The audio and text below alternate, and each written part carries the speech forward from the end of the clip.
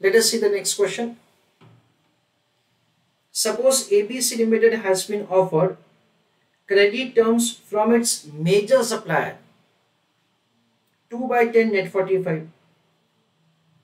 Hence the company has choice of paying rupees 98 per 100 or invest rupees 98 for additional 35 days and eventually यानी कि finally पे the supplier 100 पर 100 तो ये 2 by ten net 45 का उन्होंने मतलब समझाया है। सपोज़ की इनवॉइस है सौ रुपए तो आप क्या कर सकते हो? दसवें दिन वो सौ के सामने 98 पे कर सकते हो। या तो फिर क्या कर सकते हो? नाइनटी एट रुपीज़ को और 35 डेज़ 35 कहाँ से आया? इन दोनों का डिफरेंस इन्वेस्ट कर सकते हो। और finally you make payment to the supplier सौ रुपए सौ रुपए के सामने, ऐसा। बट वी अंडरस्टैंड एट से ये सब एक्सप्लेनेशन देने का ज़रूरत नहीं है। ये सब चीज़ हमको पता ही है when you provide two by ten net forty five okay मैं इसलिए इसको आपको हाईलाइट करके बता रहा हूँ कि ये चीज़ को आपको इग्नोर करना है। बिकॉज़ दूसरे क्वेश्चन में ऐसा हो सकता है कि ऐसा एक्सप्लेनेशन उन्होंने नहीं दिया है। In that case you to understand it the decision as to whether the discount should be accepted depends upon opportunity cost of investing 98 rupees for 35 days. What should the company do? That is the question. तो company को क्या करना चाहिए ऐसा पूछा चलो I request all of you to write an answer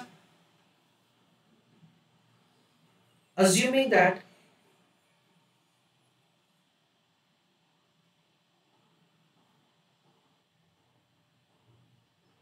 invoice amount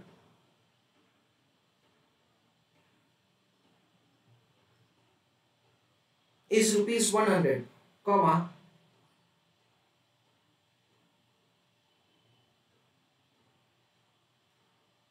advantage of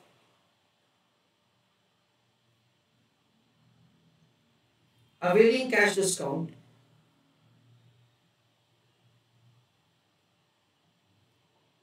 is calculated.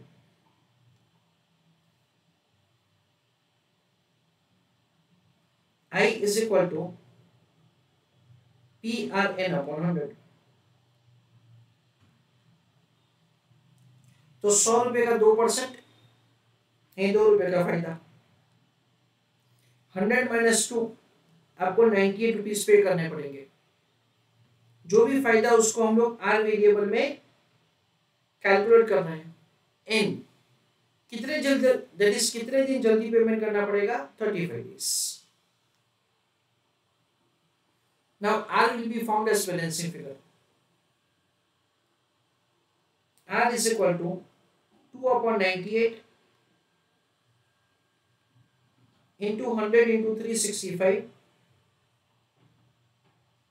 divided by thirty five ऐसा करके आर का कैलकुलेशन किया जाएगा so use your calculator two into hundred into three sixty five upon ninety eight upon thirty five that comes to 21.28 percentage. This is the way we are supposed to compute that what is the advantage of availing the cash discount. ना please tell me in the chat box कि क्या company को discount का फ़ायदा लेना चाहिए या नहीं लेना चाहिए?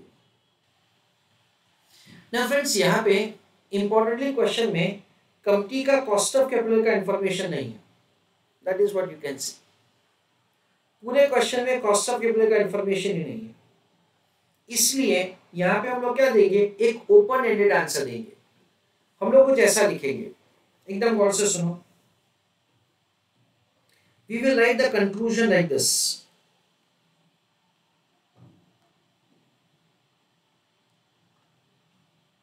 Advantage of availing cash discount. उसको कंपेयर किया जाएगा with the cost of capital of the company जो भी एडवांटेज है फॉर अवेलिंग कैश डिस्काउंट वो अगर कॉस्ट ऑफ़ कैपिटल से ज़्यादा है, then in that case, should you avail discount? Question mark तो आंसर इज़ यस यानी आपको फ़ायदा हो रहा है twenty one point twenty eight percent से, पर आपका कॉस्ट ऑफ़ कैपिटल है सिर्फ़ पंद्रह परसेंट तो आपको डिस्काउंट का फ़ायदा लेना चाहिए। अगर एडवांटेज कम है, यानी आप खुद ही बिज़नेस से पच्चीस परसेंट कमाते हो तो अरे यार डिस्काउंट लेने का कहा ज़रूरत है? तो क्या लिखेंगे? नो और अगर दोनों सेम है then in that case you are indifferent whether to avail the discount और नॉट क्यों?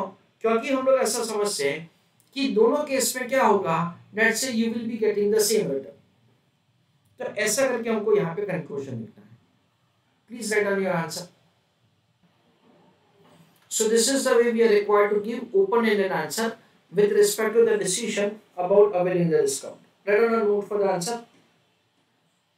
In this question,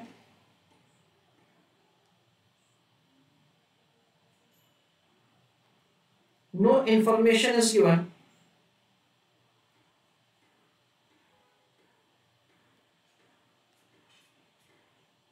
about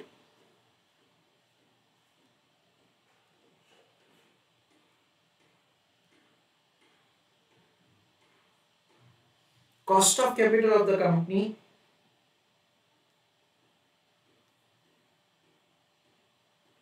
Full stop. So we can give an open-ended answer that if K, K stands for cost of capital, is less than 21.28%, comma, avail cash discount not otherwise. This is the way we are required to write the answer.